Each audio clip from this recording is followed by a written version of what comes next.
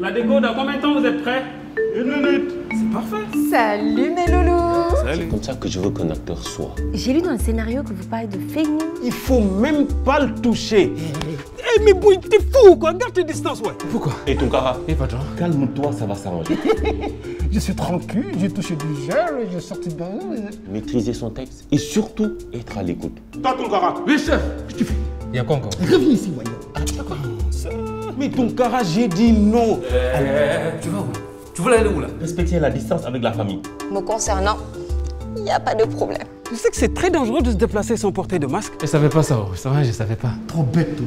Ton cara, c'est pas ici. Corona, c'est là-bas.